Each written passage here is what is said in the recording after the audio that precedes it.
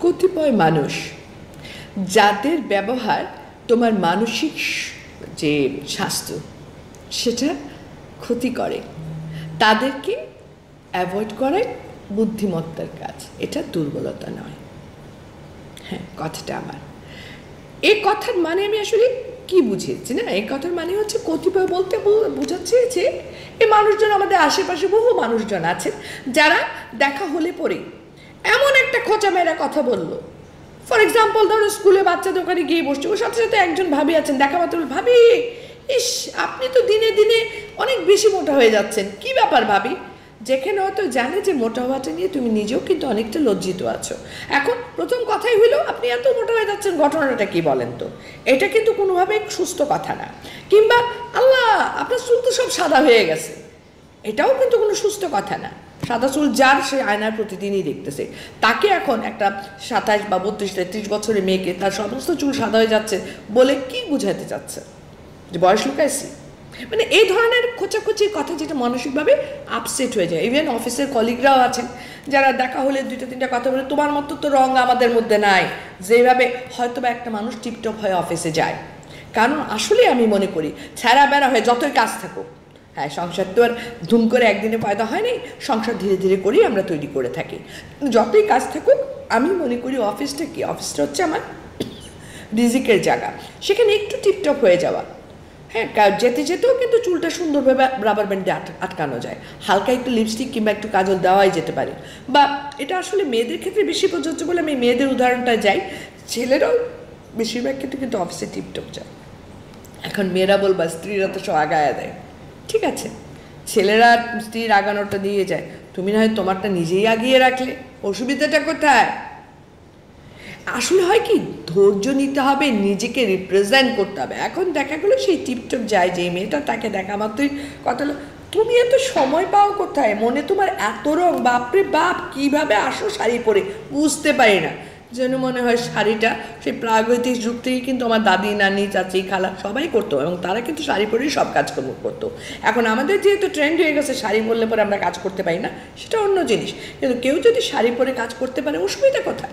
সেটাতে অ্যাপ্রিসিয়েট না করে খোঁচা দেওয়া হইল, এত সাজুগুজু করার সময় পাও কোথায়? আর সাজুগুজু, কি জঘন্য একটা শব্দ। অর্থাৎ এটাও একটা খোঁচা, সাজগোজ হ্যাঁ? যখনই মনে করবে কেউ সাজুগুজু শব্দটা ইউজ করছে, তখনই বুঝবে তোমাকে খোঁচা দিচ্ছে।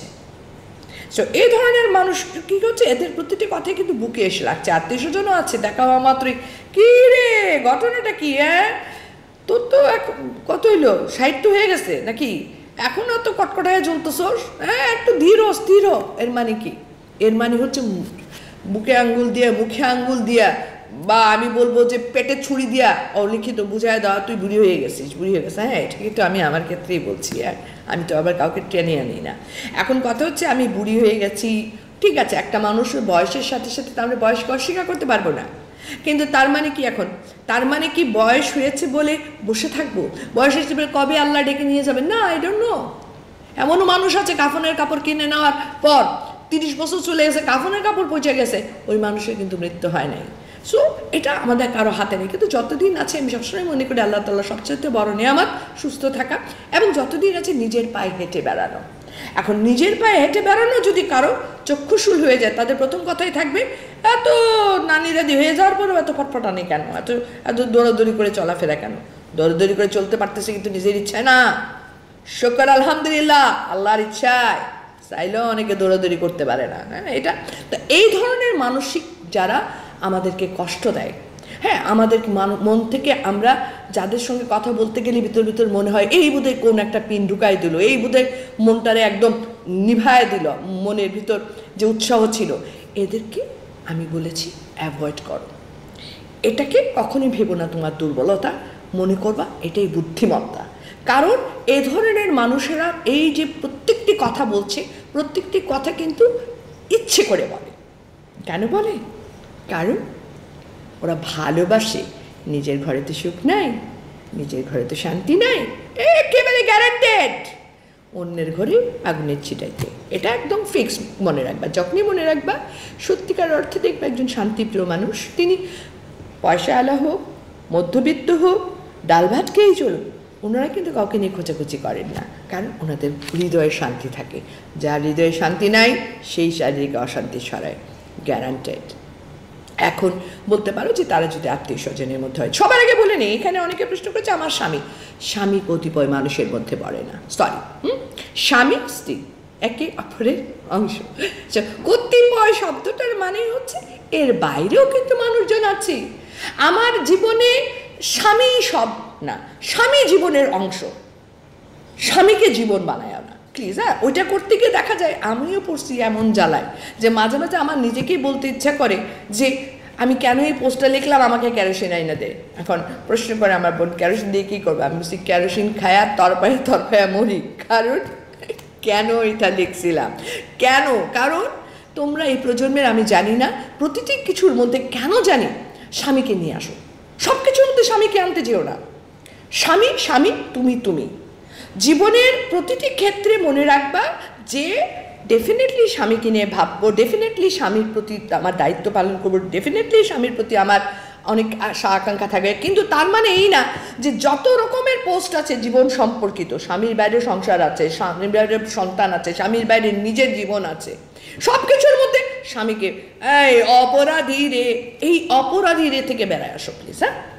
সব কিছুর মধ্যে স্বামীকে ঢুকায় না এখন বলব যে এই ধরনের মানুষরা যদি কিন্তু তারপরে আছে, আত্মীয় স্বজনের মধ্যে যদি হয় হ্যাঁ তাহলে তাদেরকে কীভাবে অ্যাভয়েড করবা? প্রথম কথাই হচ্ছে যে যখনই তারা এই ধরনের খোঁচাখুচি কথা বলবে, আরে ভাবি, আপনি তো আর আগের মতো নাই ভাবি।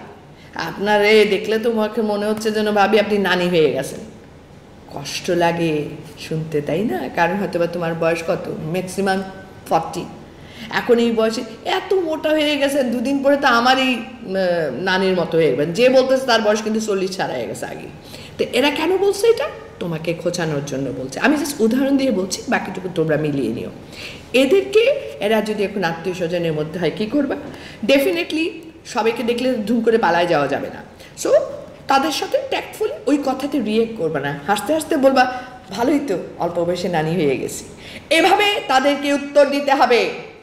আমি বারবার তোমাদেরকে বলি যে তোমাদের প্রজন্মের জন্য আমি কথা বলি, তোমরা হচ্ছে ডিজিটাল ছেলে মেয়ে। তোমরা জিনিসটা মাথা মধ্যে নিয়েই নিবা যে এই খোঁচাটা দিচ্ছে আমাকে খেপানোর জন্য, এই খোঁচাটা দিচ্ছে আমাকে রক্তপাত করার জন্য, এই খোঁচাটা দিচ্ছে আমাকে কষ্ট দেওয়ার জন্য। কারণ তার ভেতরে নিজেরই খোঁচার আলপিনের যে, একসময় না আলপিনের কুশন পাওয়া যেত, ওখানে হাজার আলপিন থাকতো। এরা বুকের মধ্যে ওই আলপিনের কুশন নিয়ে ঘোরে। তো তুমি এই প্রত্যেকটা আলপিন তোমাকে ছুটতেছে, তুমি জাস্ট একবার, দুবার, তিনবার রিয়াকশনটা দেখাবা না। যদি পারো, সাথে সাথে বুদ্ধিমত্তার মতো উত্তর দিয়ে দিবা।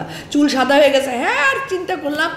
এটাও একটা স্টাইল স্টাইল তো আমরাই তৈরি করব, নাই নাকি? এভাবে যখন বলবা, তখনই দেখবা তার ওই কুশনে তার আলপিনটা গিয়ে আবার বেঁধে গেছে।